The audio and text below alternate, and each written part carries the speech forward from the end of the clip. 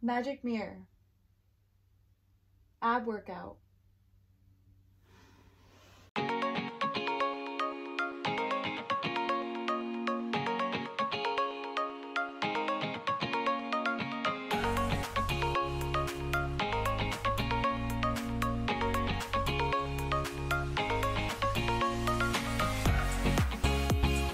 Guys, welcome back to my channel. So today's video, I'm going to be modifying my smart mirror that I built about a year ago and you can find that video right here.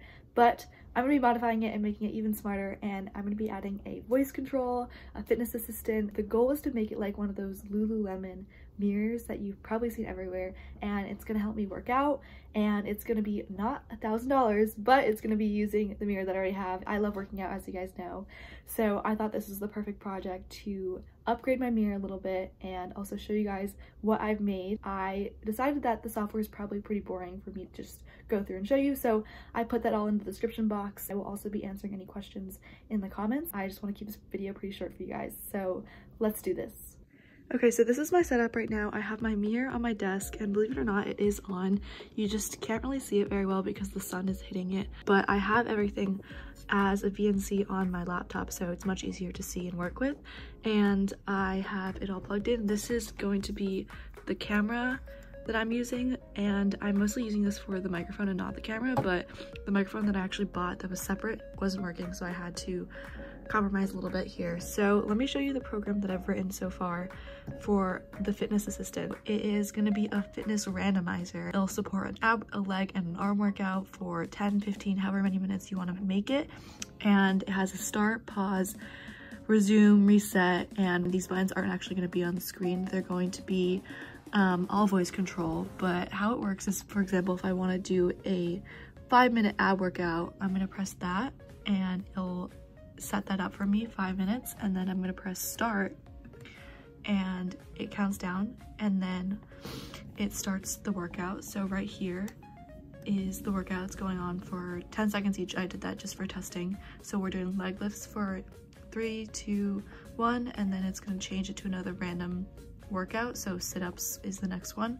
And as you can see, it crosses out the last one and both timers are running. This one's for the specific exercise. So this is all on my laptop at the moment in Atom, just a regular text editor. But the next steps are to move it to the Raspberry Pi and incorporate everything with voice control.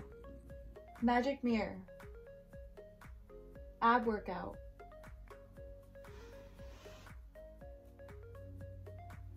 So it usually does take a second just to load up and it is nowhere as good as Google's Google Home or the Amazon Echo, but it is a work in progress and I'm always trying to make it better. So basically how it works is that there is a Python speech module called speech.py and everything is in the GitHub like I said, but that is always listening and it uses Google's speech to text API and also uses Pocket Sphinx and it looks for keywords so I have it set as a wake word to magic mirror and then it will compare what I say after that to the commands that I put in. So I put in ab workout, leg workout, arm workout, I put in stop, I put in quit, and I put in end workout, and I put in home. So then I'll go back to the original time, news, whatever setup that I had. As you can see, it looks exactly like I had on my laptop in the previous clip and it counts down. But my one issue with this Electron app is that it's slowing down my code a lot and it's glitching. So as you can see, it'll go from like 26 to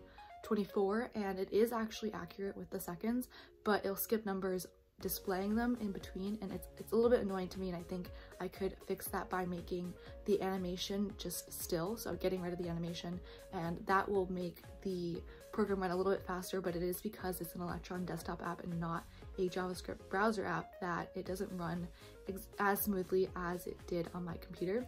So that's the one thing that I wanted to change and I wanted to talk to you guys about that and if anyone has any ways to make that faster or anything like that, like please let me know. So I got rid of the animation and it actually works a lot better now. As you can see, it counts down pretty smooth. And another thing that I forgot to mention earlier was that I added a shutdown voice command and I would highly recommend this for anyone who is adding voice commands to their smart mirror because hard shutting the Raspberry Pi is never good so it's nice to shut it down and then unplug it that pretty much wraps up my video and of course I had to try it out so here I'm doing an ab workout and all of my workouts are randomly picking from a list of 50 exercises just to keep it interesting. And you guys had such an amazing response to my first smart mirror video, so thank you to everyone who's been watching me since then. I hope you enjoyed this video, and if you did, make sure to like, comment, subscribe, and I'll see you guys next time.